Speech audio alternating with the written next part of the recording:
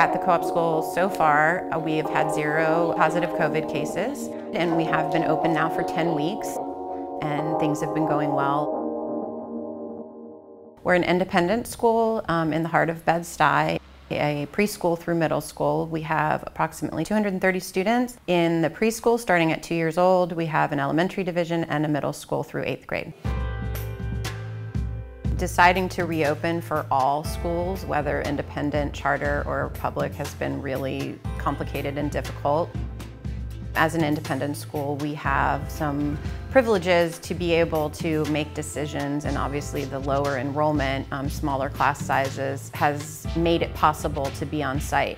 Our son is five, our daughter just turned three, and it seemed so critical to have them return to a space of socialization, being with friends, um, being with teachers who could guide them developmentally. Every morning, the families um, complete a app on their phone. They take their child's temperature, and um, it asks, uh, you know, the normal COVID questions: Have you been exposed? Do you have any of these symptoms? And if they answer no to everything, um, they are cleared to come to school.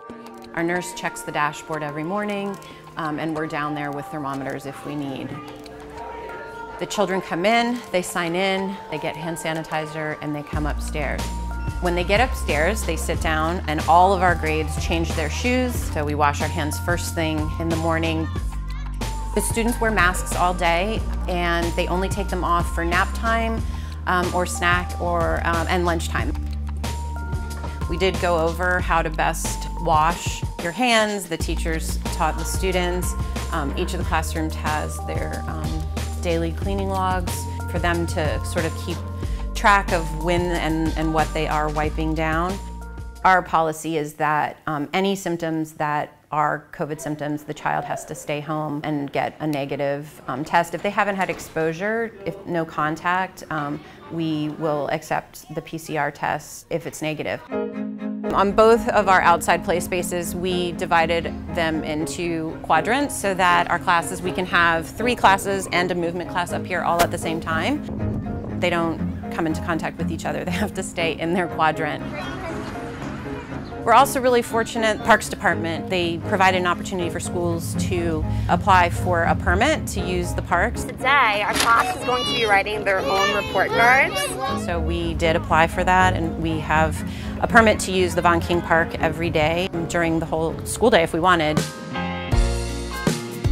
I'm just trying to keep up with um, the cleanliness, trying to make sure that uh, everything is clean and disinfected.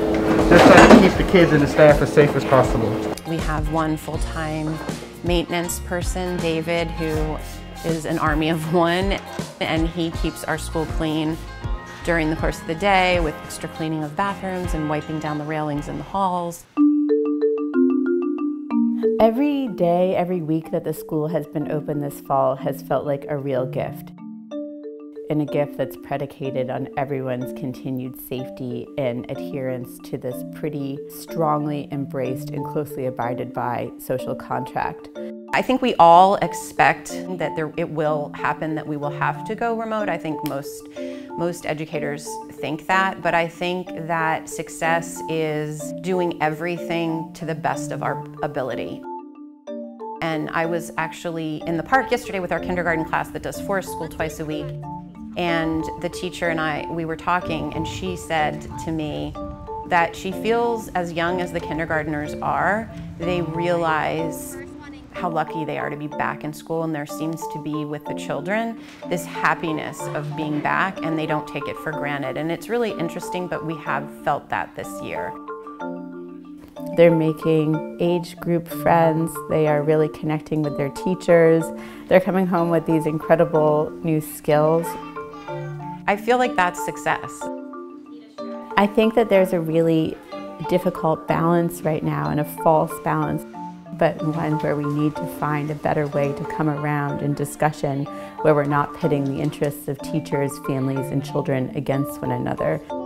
And I really credit the co-op school with finding a way to knit these interests together in a way that keeps everybody safe and healthy and emotionally sound during this incredibly trying period.